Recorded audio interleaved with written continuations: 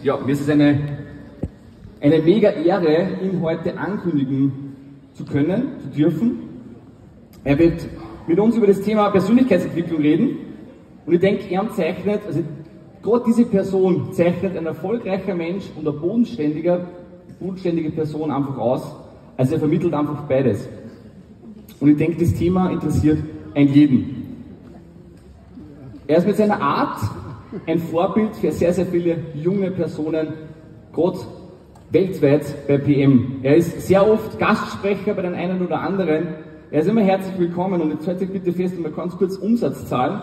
Er hat alleine in diesem Jahr 40% Umsatzwachstum zu verzeichnen und alleine die Sponsorquote 120% plus im gesamten Team.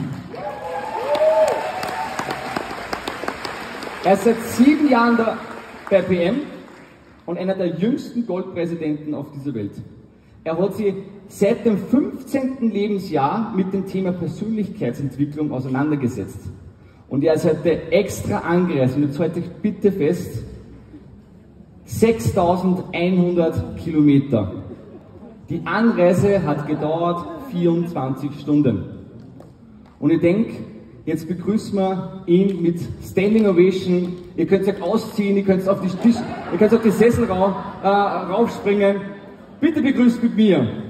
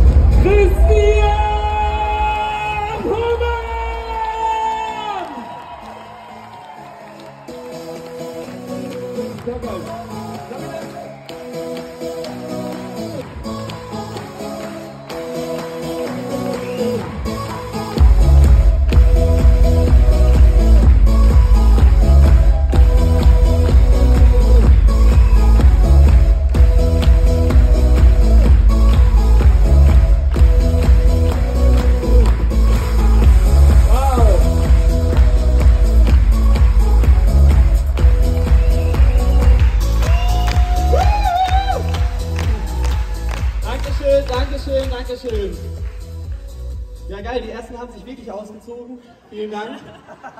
Äh, danke für die tolle Anmoderation. Ähm, für mich ist es eine ganz besondere Ehre, heute hier zu sein. Ich kann mich noch an den Moment erinnern, wo Kevin mich gefragt hat, Christian, hast du Bock? Wir machen da ein großes Event in Österreich, es wird riesengroß, richtig geile Sprecher sind dabei. Um, möchtest du dabei sein? Und dann hat er das Datum genannt. Und ich dachte, shit, da bin ich in Tansania, in Ostafrika das wird schwierig. Und dann habe ich noch schnell geguckt und dann habe ich den, den Freund von mir gefragt, der das organisiert hat. Und dann haben wir das so hingekriegt, dass ich die Reise quasi genau passend beenden konnte. Also am Donnerstag am Nachmittag um halb zwei bin ich dann mit dem Taxi zum Flughafen und gestern um halb zwei waren wir dann hier in St. Pölten angekommen. Ähm, ja, deswegen ist es, also dass, dass ihr vielleicht auch versteht, wie wichtig mir dieses Event ist, weil ich genau weiß, dass wir heute...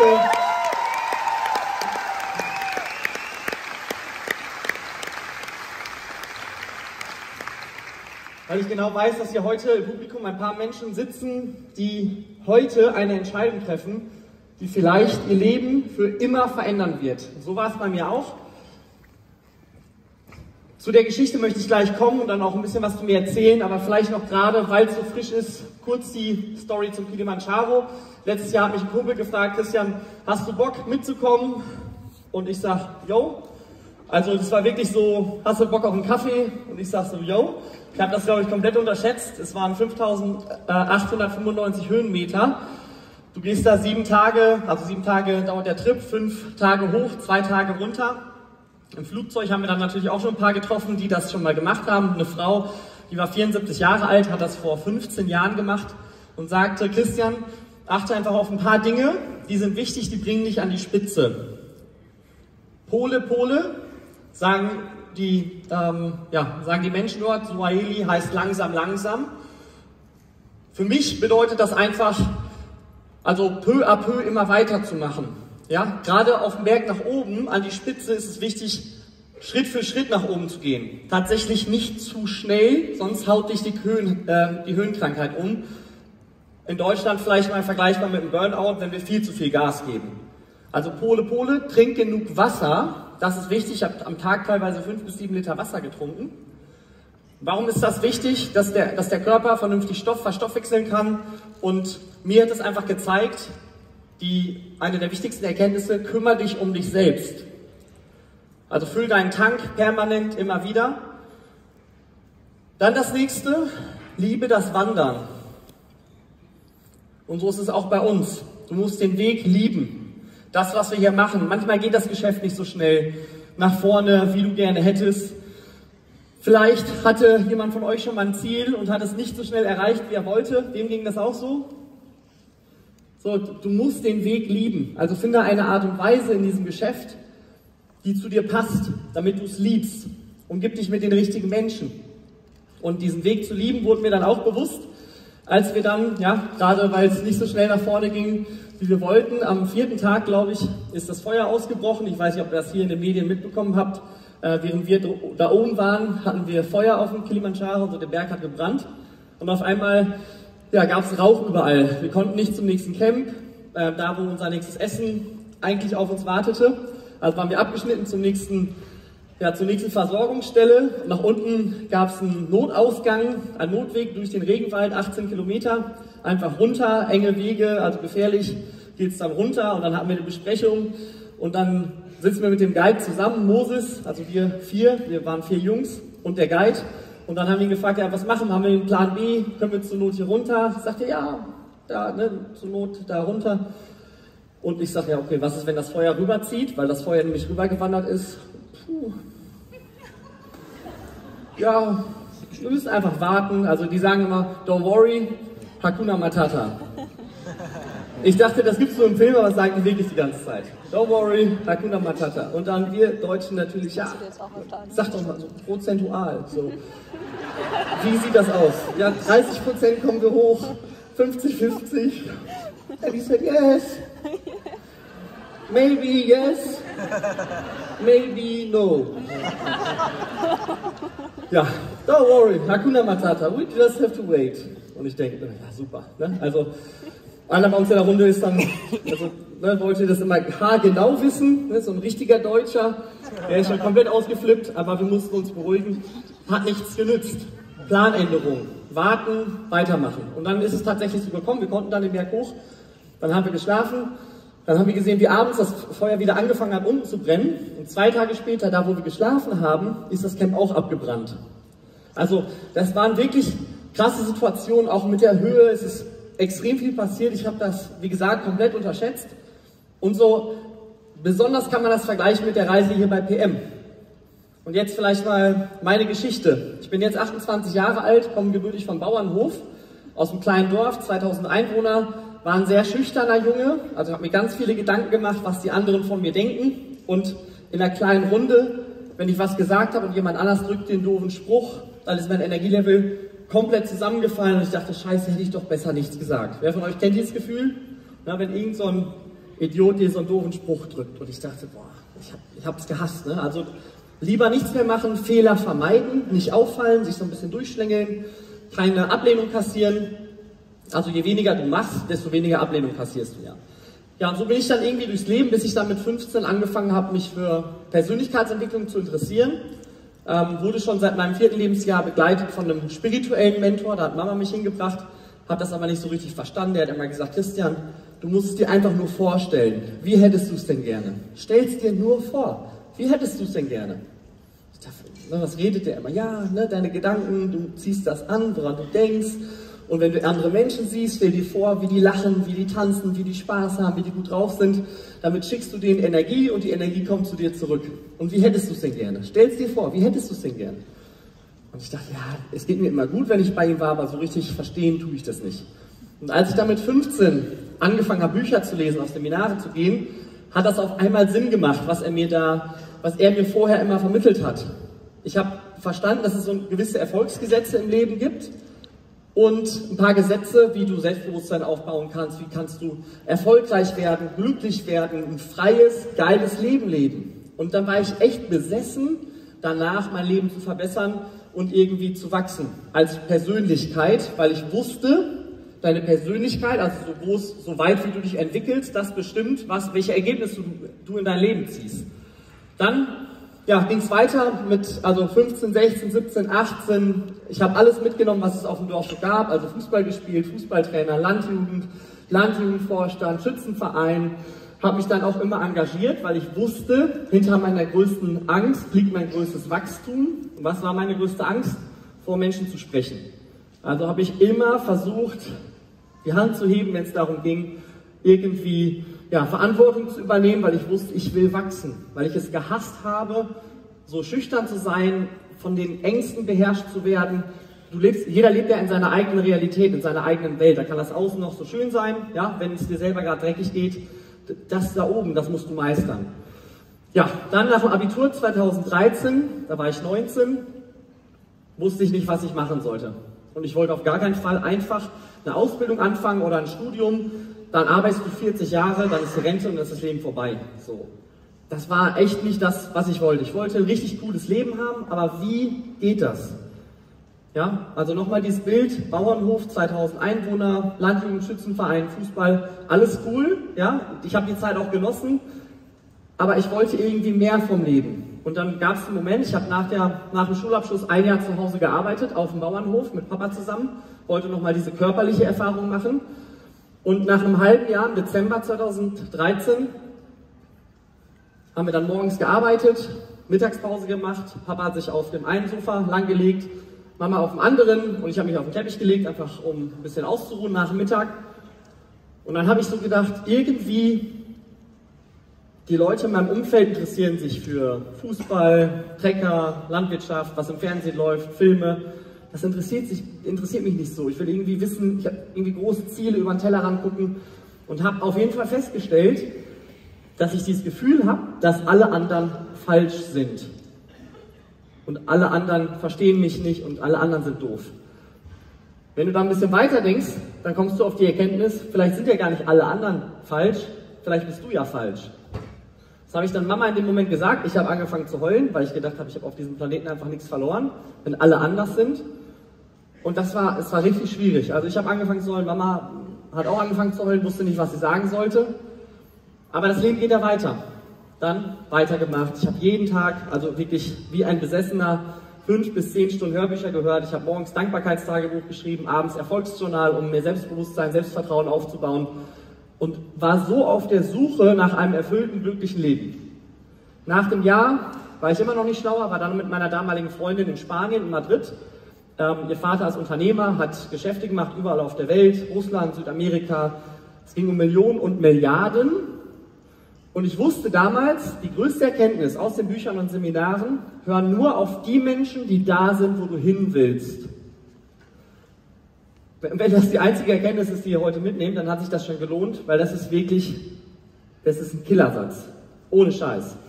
Ich konnte nicht meine Eltern fragen, wenn ich im Network Marketing erfolgreich werden will, kann ich ja nicht meine Eltern fragen, ob das hier funktioniert, wie das funktioniert. Die wissen, wie man erfolgreich ein landwirtschaftliches Unternehmen managt, aber die wissen ja nicht, wie Network Marketing funktioniert. Wenn du erfolgreich werden willst im Network Marketing, dann frag die, die erfolgreich geworden sind im Network Marketing und nicht ja, Tante Erna, Oma, Papa, Mama, Freunde. Versteht ihr, was ich meine? Das ist, das ist brutal. Und wollte dann den Unternehmer, also den Vater meiner damaligen Freundin, habe ich dann gefragt, kannst du mir das beibringen? Und er sagte, ja, studier erstmal, dann hast du eine gute Basis. Und ich denke, studieren, okay. Die erfolgreichsten der Welt waren Studienabbrecher, das wusste ich. Ähm, dann fange ich doch gar nicht an zu studieren. Das ist ja komplette Zeitverschwendung. Na, aber na gut, dann fange ich halt an zu studieren, wenn ich dann von dir lernen kann. Habe dann angefangen im März 2015 in Bonn, St. Augustin, wollte in Richtung Wirtschaftspsychologie, habe mit BWL angefangen. Und einen Monat vor dem Studium kommt dann Jan Hendrik, wir kennen ihn schon seit der Grundschule, hat 300 Meter von unserem Bauernhof gewohnt. Jan Hendrik war beim Zoll verbeamtet und sagte, Christian, ich habe was kennengelernt, es geht um Gesundheit, es geht um Geld verdienen, hört dir das mal an. Ich denke so, ja klar, geil, Gesundheit, Geld verdienen hört sich gut an. Dann ich zum Termin, der zeigt mir Power Cocktail Restaurate. Obst und Gemüse in Tüten. Also, ich weiß nicht, was ihr gedacht habt, aber ich habe gedacht so, so dein Ernst? Also, das kann ja jetzt nicht alles sein. Obst und Gemüse kenne ich aus dem Garten, kenne ich aus der Wiese, aber bestimmt nicht in Tüten. Und wenn Mama, ich habe noch zwei jüngere Brüder, wenn sie uns drei Söhnen einen Tipp gegeben hat, dann war das so, halte dich fern vom Essen in Tüten. Also Geschmacksverstärker künstlich und so. Und ich dachte, hä, na gut, hörst du weiter zu, hat irgendwie Sinn gemacht. Produkte, mich hat begeistert, dass über 1000 Sportler das nehmen. Hör auf die Menschen, die da sind, wo du hin willst. Wenn über 1000 Spitzensportler das nutzen, muss da irgendwas dran sein. Ja? Die können sich ja nicht alle verarschen lassen. Also es war wirklich, mein, das war meine echten Gedanken, ne? 20 Jahre alt, kurz vorm Studium. Und ja, dann Produkte, ich sage, ja, vielleicht kann man ja mal ausprobieren. Und dann ging es zum Geschäft. Und ich schwöre euch, als ich das Geschäft zum ersten Mal gehört habe, habe ich gedacht, Wahnsinn! Hier kommt alles zusammen, was ich in den ganzen Jahren davor gelesen und studiert hatte, auf den Seminaren gehört habe. Das erste war, du kannst dir ein passives Einkommen aufbauen. Das passive Einkommen ist das einzige Einkommen, was dich zeitlich und finanziell frei machen kann. Und es geht nicht immer nur um finanzielle Freiheit. Vielleicht kennt der ein oder andere von euch jemanden, der sehr viel Geld hat, aber keine Zeit hat. Jürgen hat das eben toll beschrieben mit seiner Tochter. Darum geht es ja, um Lebensmomente mit den richtigen Menschen. Also brauchst du zeitliche und finanzielle Freiheit. Das, oder da ein bisschen freier zu werden in beidem, das ist das, wonach man streben sollte, habe ich auf jeden Fall für mich festgestellt und das kannst du dir hier aufbauen. Das nächste, dass du hier erfolgreich wirst, wenn du anderen Menschen erfolgreich machst. Und das wusste ich auch aus den Büchern und von den Seminaren. Es gibt nichts, was glücklicher macht. Es gibt nichts, was erfüllender ist, als wenn du anderen Menschen hilfst, deren Leben zu verbessern. Anderen Menschen zu helfen, deren, deren Leben auf ein nächstes Level zu heben. Das ist so geil. Ich war sechs Jahre Fußballtrainer und das war immer am allergeilsten, gemeinsam Spiele zu gewinnen. Kennt ihr das? Wenn du richtig gekämpft hast, gemeinsam als Team und dann feierst du, das ist das Krasseste. Und das ist auch heute das, was, was mich am meisten begeistert, jedes Mal wieder. Und das Dritte, es gibt kein Limit. Du bestimmst selbst, wie viel Geld du verdienst. Ja, ich bin dann gestartet, wusste nicht genau, ähm, ja, was da auf mich zukommt, habe gedacht, cool, wenn ich zehn Menschen begeister, die begeistern auch zehn. Also 10 mal 10, dann sind wir schon 100 im nächsten Monat. Die begeistern auch 10, dann sind wir schon 1000. Wenn die auch 10 begeistern, 10.000. Also in vier Monaten müsste ich ja dann Champions League sein. Das war der ganz klare Plan. Ich dachte, klar, Glück kein Risiko, Produkte funktionieren, Geschäft ist super. Du hast kein Risiko, nicht zu verlieren und gesundheitlich und finanziell so viel zu gewinnen. Wie sollte sich der normal, normal denkende Mensch entscheiden? Dafür oder dagegen? Eigentlich dafür, wenn du kein Risiko hast, ist ja wie kostenlos Lottoscheine ausfüllen. So, es gibt kein Risiko und nur zu gewinnen, müsste eigentlich jeder dabei sein. So, ich habe das echt nicht verstanden. Ja, dann ging es nicht so schnell nach vorne. Ich war nach drei Monaten IMM, das war cool, hatte geile Erfahrungen mit den Produkten, auch mit dem Geschäft. Im ersten Monat 140 Euro verdient, im dritten Monat schon 700 Euro. Und dann war ich auf einem Event, auf einer Veranstaltung. Waren so 100, 200 Leute in Bonn, damals in der Telekom Baskets Arena. Und da stand ein Sprecher vorne und hat dann folgende Frage gestellt. Und die Frage jetzt auch an euch. Wer von euch will erfolgreich werden? Und ich denke, was ist das denn für eine dumme rhetorische Frage? Jeder will doch erfolgreich werden, erfolgreich sein. Sagt er, okay. Also er stellt die Frage und ich weiß noch, als ich da saß, soll ich aufzeigen oder nicht? Weil wenn ich aufzeige, nimmt er mich ja vielleicht dran. Ja, dann hat er mich auch noch drangenommen und ich dachte, super, dann saß ich hier vorne und er sagt, okay, du willst erfolgreich werden. Dann erzähl mal, was machst du denn gerade? Ich sage, ich studiere BWL. Ich sage, okay. Und was ist dein Ziel? Ich sage, was ist mein Ziel? Was hättet ihr geantwortet? Was ist euer Ziel? Dann habe ich nichts gesagt, wollte nichts Falsches sagen. Nachher nageln die mich noch drauf fest. Sagt er, okay, was ist denn dein Ziel heute in vier Jahren? Was hättet ihr geantwortet? Und dann stellt er die Frage, was ist dein Ziel heute in vier Jahren, wenn du wüsstest, du könntest nicht scheitern? Und ich dachte, ah, okay, das war so ein Spiel, ne? Das war so dieses Gefühl von, alles wird leicht. Jetzt, das ist nur ein Spiel, Fantasie, stellt er die Frage. Was ist dein Ziel heute in vier Jahren, wenn du wüsstest, du könntest nicht scheitern? Das war April 2015, also wäre dann das Ziel im April 2019. Und schreibt euch jetzt mal bitte auch auf, Zettel und Stift, heute, Datum und heute in vier Jahren. Was wäre euer Ziel heute in vier Jahren, wenn ihr wüsstet, ihr könntet nicht scheitern? Also einfach nur mal Fantasie, nur mal angenommen. Ja, ihr könntet nicht scheitern. Was wäre euer Ziel? Wofür würdet ihr alles geben? Und dann hat er das so ein bisschen erklärt. Wofür wärst du bereit, dein Leben zu geben? Das Spannende ist ja, die 24 Stunden, die letzten 24 Stunden sind zu 100% weg. Wir kriegen die nicht wieder. Da hat keiner von uns die Möglichkeit, oh, die letzte Stunde war scheiße, äh, ich gehe nochmal zurück. Also wir geben jeden Tag unser Leben. Es ist nicht die Frage, ob du bereit bist, dein Leben für etwas zu geben. Du gibst es jeden Tag, du bist dir vielleicht nicht dessen bewusst, aber du gibst jeden Tag dein Leben. Also nicht ob, sondern wofür bist du bereit, dein Leben zu geben? Welches Leben wäre es wert, dass du dein Leben dafür gibst? Und dann ist das ja nochmal eine ganz andere Frage, weil sonst habe ich mir immer die Frage gestellt, könnte ich das schaffen, könnte ich das nicht schaffen, aber welches Ziel, was ist dein Ziel heute in vier Jahren, wenn du wüsstest, du könntest nicht scheitern? Dann habe ich gesagt, okay, dann wäre ich gerne Redner vor 1500 Leuten. Das war für mich das am weitesten entfernteste Ziel, was ich mir jemals hätte vorstellen können. Es war so weit weg wie, wir machen mal eine Mondlandung oder fliegen auf den Mars oder werden Milliardär. So weit weg. Ja? Also wirklich Wahnsinn. Und sagte, okay, was machst du gerade? Ich sage, ich studiere BWL. Was ist dein Ziel heute in vier Jahren, wenn du wüsstest, du könntest nicht scheitern? Ich sage, ja gerne, da wäre ich gerne Redner vor 1500 Leuten. Und sagte, okay, was machst du gerade? Sage, ich studiere BWL. Ich sagte, okay, und was wäre dein Ziel heute in vier Jahren, wenn du wüsstest, du könntest nicht scheitern? Ich habe mir das so vorgestellt, boah, ich denke so 1500 Leute, ich bin da, boah, krass. Da ich immer gedacht, ich habe die Leute so bewundert, die das können. Weißt du, die können Geschichten erzählen, die haben Selbstbewusstsein, Selbstvertrauen. Ich kann das einfach nicht. Und das war so. Und dann sagt er, okay, was machst du gerade? Sage, ich studiere BWL.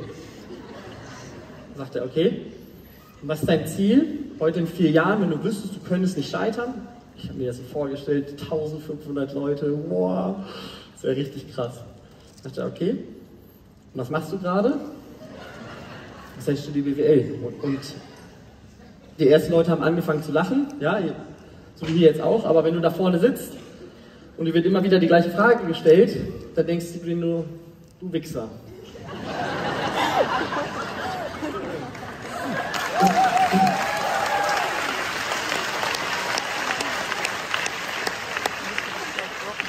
Also ich hatte wirklich das Gefühl, der stellt mich jetzt richtig bloß. Ne? Ich, ich dachte, ich zeige nie wieder auf. Es war einfach so ein dummer Fehler. Und dann stellte er aber noch eine weitere Frage. Die hat mein Leben seitdem für immer verändert.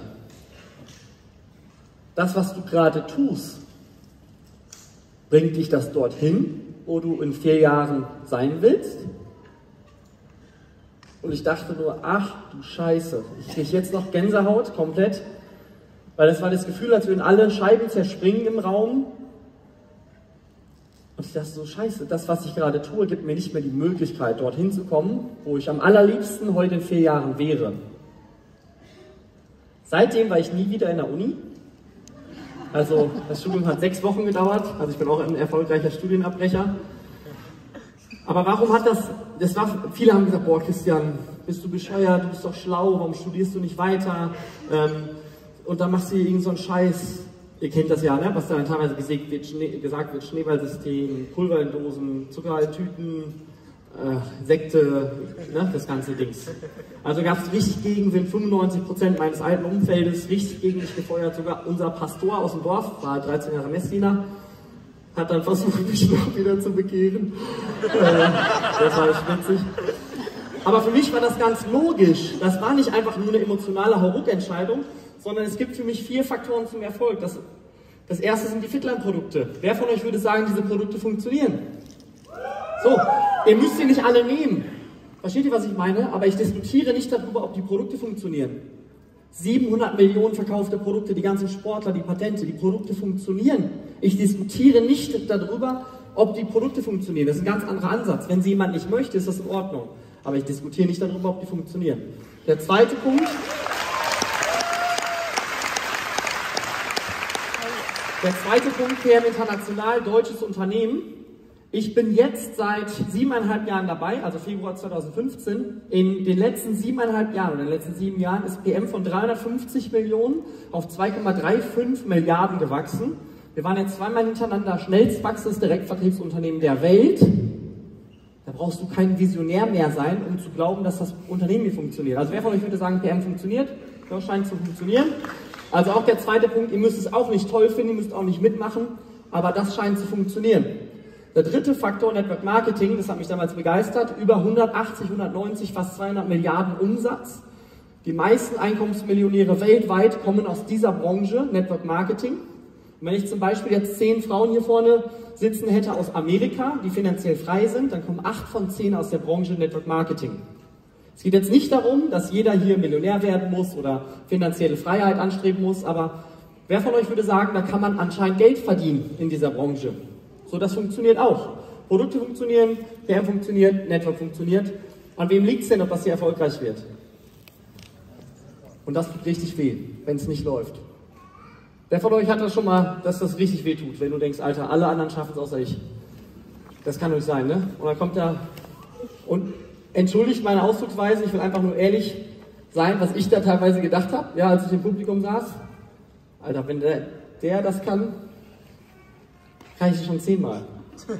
Ja, und dann kommt noch einer und du denkst so, Junge, Junge, Junge. Und mit jeder Geschichte denkst du dir nur, so blöd kann ich noch gar nicht sein, um hier nicht erfolgreich zu werden. Ja, aber das, war, das waren wirklich meine Gedanken.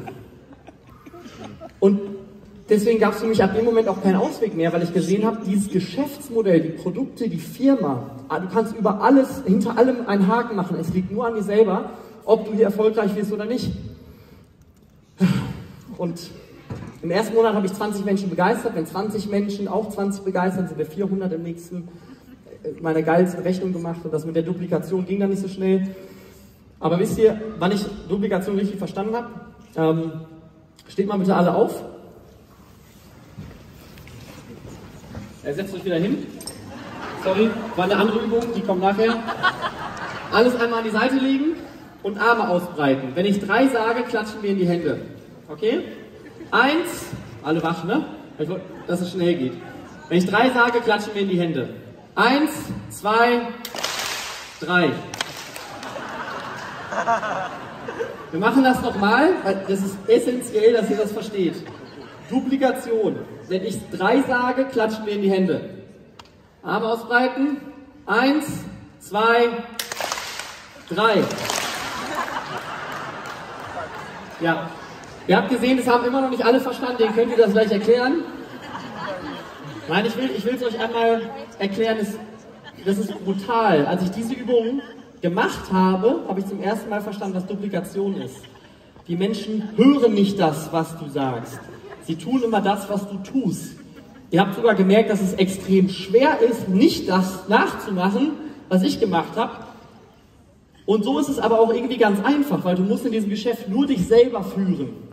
Sei du selbst die Veränderung, die du in der Welt sehen willst, habt ihr vielleicht schon mal gehört. In diesem Geschäft ist es super einfach. Sei du selbst permanent der Teampartner, den du gerne in deinem Team hättest. Wenn es dich nervt, dass deine Leute nicht genug terminieren, was musst du machen? Mehr terminieren. Wenn, du wenn es dich nervt, dass die Leute, dass dein Team nicht auf den Veranstaltungen ist, wo musst du sein? Auf mehr Veranstaltung.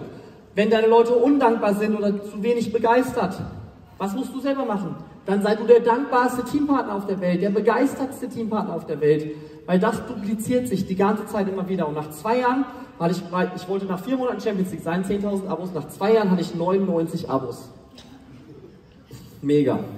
Also, total für den Arsch. Ich hatte, war froh, ich habe gedacht, was mache ich hier eigentlich? Ja, und dann musste ich mich wieder daran erinnern, warum habe ich eigentlich angefangen?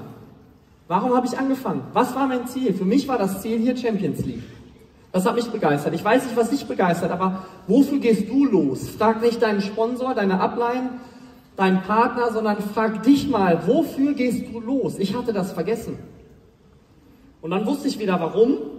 Hab wieder die Menschen gefragt, die da sind, wo ich hin will und hör auf dein Herz. Also frag vielleicht mal mehrere Menschen, die da sind, wo du hin willst. Guck, was zu dir passt, was mit dir in Harmonie ist und dann gehst du den Weg mit denen. Ich habe mir damals Björn gepackt Björn war da, wo ich hin wollte, war auch schon in der Top 10 sehr erfolgreich, tolles Auto gefahren. Ich dachte, krass, ich rufe den einfach jeden Tag an.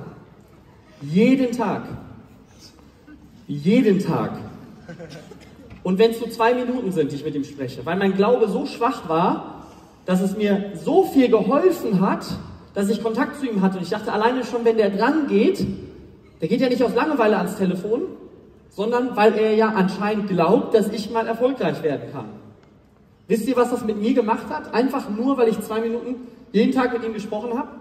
Dann hatte ich einen stärkeren Glauben, habe mehr Potenzial in mir gesehen. Weil ich mehr Potenzial gesehen habe, bin ich mehr in Aktion gegangen. Was passiert, wenn ich mehr in Aktion gehe? Habe ich mehr Ergebnisse. Was machen geile Ergebnisse? Sie haben, die haben wieder meinen Glauben gestärkt. Habe ich wieder Björn angerufen, wieder mehr Potenzial gesehen, wieder mehr in Aktion gegangen, wieder stärkere Ergebnisse. Und es hat wieder den Glauben gestärkt. Und irgendwann kam ich in diese Aufwärtsspirale. Dann in anderthalb Jahren sind wir von 99 Abos auf 375 gewachsen. Dann ging es auch mal wieder runter und hoch und runter.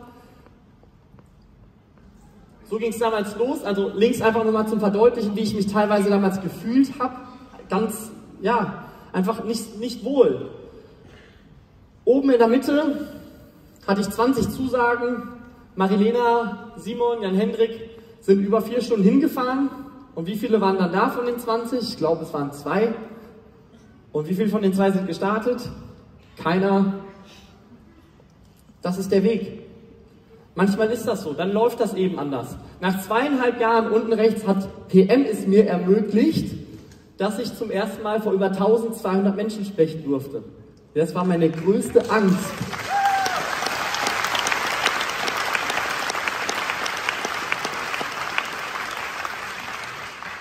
Dann auch mal Rolf Sorg kennenzulernen. Nach fünf Jahren dann das Präsidentsteam erreicht. Und ihr erinnert euch, ich wollte nach vier Monaten Champions League sein. Nach fünf Jahren Präsidentsteam. Und das möchte ich euch da genau zu der Sache eine ganz wichtige Botschaft mitgeben. Eine ganz, ganz wichtige Botschaft. Jetzt auf dem Weg zum Kilimanjaro. Wie gesagt, ich habe es komplett unterschätzt. Ich hätte niemals gedacht, dass es so anstrengend ist. Schon am zweiten Tag hatte der erste Kopfschmerzen, der nächste konnte nichts mehr essen. Wir hatten Finnland-Produkte dabei. Das hat dann alle immer wieder aufgepäppelt. Es war wirklich krass. Dann am dritten Tag hatte noch, also wieder jemand Kopfschmerzen. Jemand anderes hat sich beim Essen übergeben, in die Schale vom anderen gebrochen. Also so, dann nächsten Tag war dann das Feuer. Dann haben wir da einen ganzen Tag festgesteckt. Also so passieren dann manchmal die Dinge. Und dann waren wir am letzten Abend, hatte übrigens einer äh, auf einer Skala von 1 bis 10, hatte er eine 7 von Kopfschmerzen. Dann darfst du eigentlich nicht hoch. Dann habe ich ihm was Gutes angerührt. Innerhalb von einer Viertelstunde, 20 Minuten, von 7 auf 3 runter, dass er überhaupt den Aufstieg machen konnte, nur mit unseren Produkten. Keine Medikamente. 95% gehen mit Medikamenten da hoch, Diomex und Kopfschmerztabletten und so.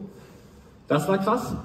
Und dann sitzen wir da, letztes Briefing, wurden abends geweckt, 23 Uhr, halb eins sind wir dann losgegangen, morgens, und dann gehst du fünf Stunden durch die Nacht bei minus 10 Grad, um dann morgens um 6.20 Uhr oben zu sein, am Gipfel.